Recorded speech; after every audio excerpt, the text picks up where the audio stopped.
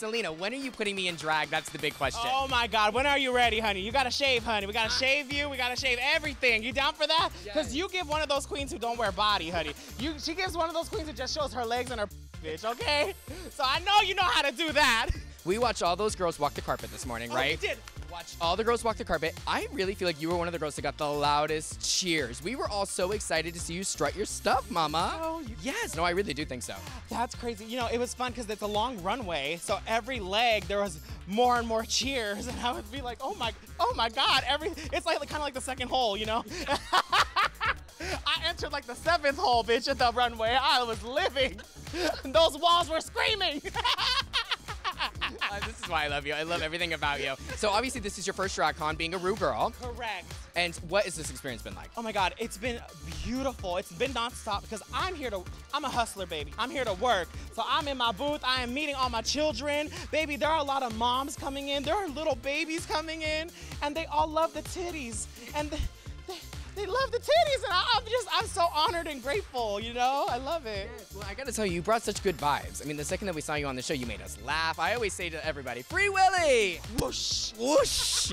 Free Willy whoosh. Because honestly, you gave us just so many iconic moments. You know, when you look back and see that the fans really embraced you and fell in love with you and support you, like how good does that make you feel? It literally makes me want to cry because I am.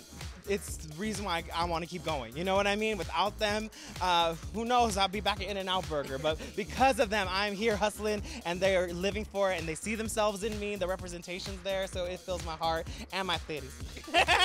Which we love to see. Now, girl, we know you're all about the manifestation. We've been manifesting that EGOT for a hot minute. I mean, are we not? I didn't get anything. I got a golden boot. I did get that golden boot, honey.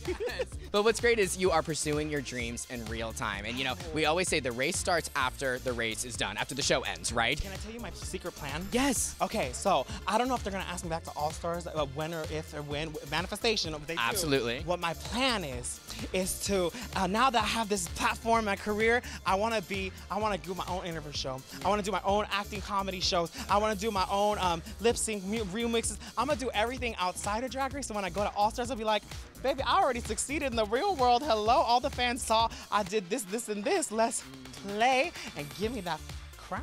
Period. well, and I'm sure you would agree. It's amazing to see how many girls out there that have not won the show, but they are legends. They have Oh built careers for themselves. Like this show gives you the platform. Valentina was right here, bitch. I almost, I almost fell out. And she's the RuPaul of Mexico. Right. I mean, hello. It's true though. Olay. Olay!